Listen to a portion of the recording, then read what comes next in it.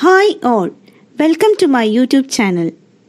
Today we are going to discuss about the objectives of biomedical instrumentation.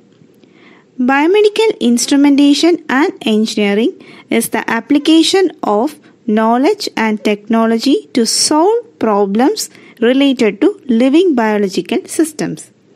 It involves measurement of biological signals like ECG, EMG or any other electrical signals generated in human being.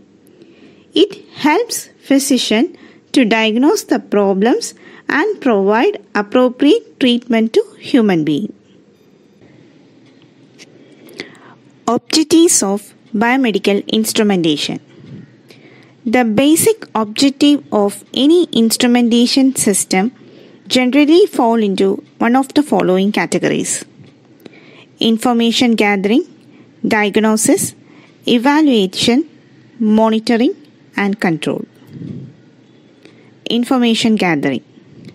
In the system, instrumentation is used to measure natural phenomena and other variables to help man to know about himself and the universe in which he lives. Diagnosis Measurements are made to help in the detection and hopefully the correction of some malfunction of the system being measured. Evaluation Measurements are made to determine the ability of a system to meet its functional requirements. Monitoring Instrumentation is used to monitor some process or operation in order to obtain continuous or periodic information about the state of the system being measured.